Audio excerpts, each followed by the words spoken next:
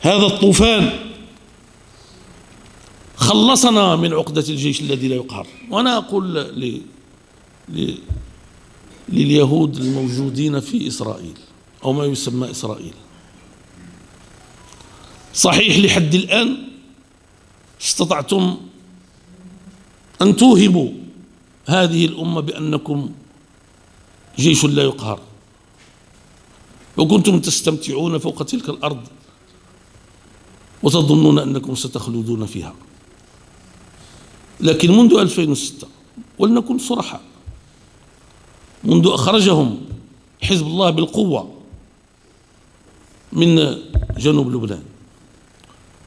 لعل بعض الإخوة قلت لهم لا يمكن أن يبقى اليهود مطمئنين وقد رأى باقي الفلسطينيون بأن بأنهم كالآخرين يهزمون ويخرجون ويتركون أحذيتهم وأما اليوم وقد هزمتكم حماس هذه الهزيمة النكراء.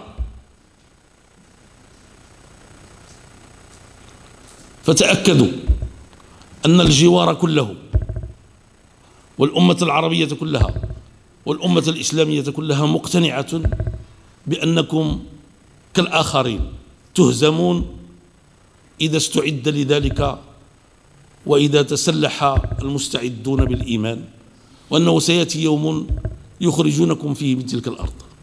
ولكن أريد أن أقول لكم شيئا أكثر من هذا هو أن ما تفعلون اليوم ما تفعلونه اليوم من قتل ومن تدمير ومن لا تسعفني الكلمات فأنتم تعرفون ما يقع أكثر مني. وهذا صحيح لأنني لم أعد قادرا على تتبع الأخبار في, في, في, على شاشات التلفزيون. أريد أن أقول لهؤلاء اليهود إنكم اليوم أثبتتم أنكم لستم أهلا لقيادة البشرية.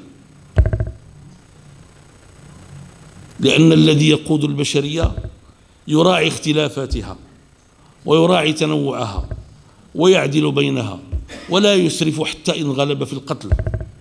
وأذكركم أن نبينا صلى الله عليه وسلم نهانا نهانا إذا حاربنا أن نقتل شيخا أو نقتل امرأة أو نقتل طفلا أو نقطع شجرة أو نقتل حيوانا إلا إذا كان سنستفيد منه في الأكل أو في غيره.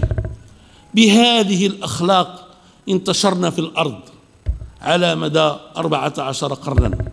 ولأنكم تفتقدون لهذه الأخلاق ولأنكم عنصريون ولأنكم لا تؤمنون إلا باليهودي الذي أمه يهودية ففي النهاية سوف تغلبون وسوف تخرجون وسوف ترجعون ليحكمكم غيركم. كما كان ديدنكم منذ ألفي سنة ولقد كنتم يشهد الله بخير. نسبيا حتى وإن كنتم تعانون ولكن يعني كان أمركم مستقرا بصفة عامة خصوصا في هذه المراحل. فذهبتم تقيمون دولة على أنقاض شعب آخر وأرض لا تملكونها وتتصرفون بهذه الطريقة؟ ها أنتم اليوم تجرجرون في المحاكم الدولية لأن هنالك دولة إفريقية تشجعت وتحملت هذه المسؤولية لما لم يقدر إخواننا العرب ولا المسلمون على تحملها وهي دولة جنوب إفريقيا.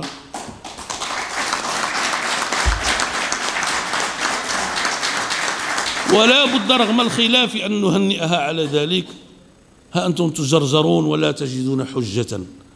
لأن vous ديني لستم أهلا لكي تحكموا شعوبا أخرى. وفي النهاية أقول لكم ربما لستم أهلا حتى لتحكموا أنفسكم. فلهذا فأنا أقول لكم أنا الذي كنت أؤمل في أن الصلح بينكم وبين الفلسطينيين ممكن في إطار دولتين أو أحسن من ذلك في إطار دولة واحدة كما وقع في جنوب إفريقيا. أقول لكم اليوم لم أعد أؤمن بهذا. أؤمن بشيء واحد وهو أنكم في النهاية ستفقدون قيادة فلسطين. وقد تبقون معنا كما كنتم دائما. إذا كنتم تريدون اليوم سلما حقيقيا فقوموا بانتخابات يشارك فيها الجميع. ولا ولا تخافوا من الأعداد الذي معه الصواب سوف ينتصر.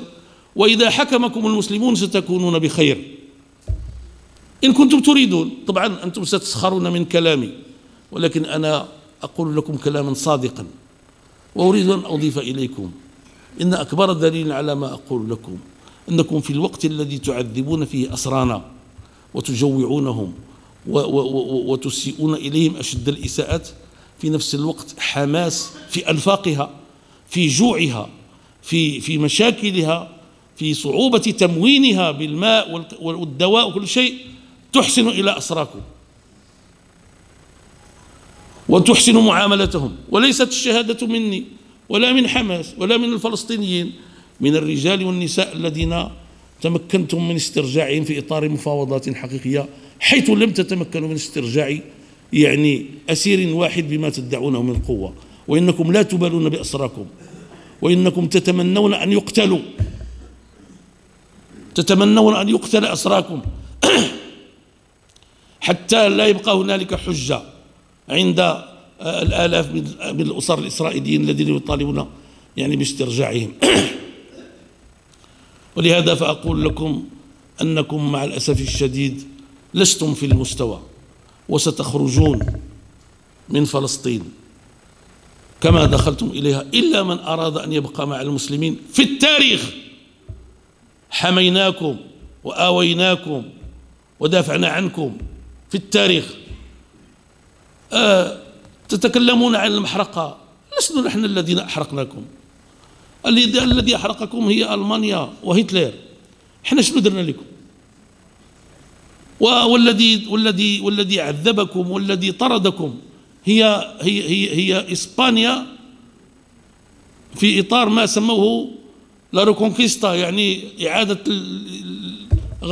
استرجاع الأراضي وهم لم يكونوا حتى من الإسبان الاندلسيين الذين كانوا يعيشون مع المسلمين في سلام. يوم أخرجوكم لم تجدوا مكان إلا المغرب والجزائر وتونس وليبيا ومصر وتركيا وهذه الدول. وعشتم معنا. يعني هذه القرون كلها. وقبل ذلك بل إن ملوكنا كانوا يضعون في بعض الأحيان بين أحيائكم الملاح.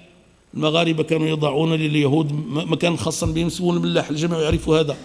وبين القصور مداخل حتى إذا وقع احتكاك مع بعض المسلمين يعني تجدون مخبأ في قصور ملوكنا. أين هذا من سلوككم أيها الهمج؟ أيها المتوحشون؟ أيها الظالمون؟ أيها القتلة؟ أيها المجرمون؟ لا تقوم لا تقوم الحياة بالقوة وحدها. لا تقوم الحياة إلا بالعدل. وما دمتم لا تملكون العدل. فإن انتصاراتكم ستبقى محدودة في الزمان وإنكم ستهزمون.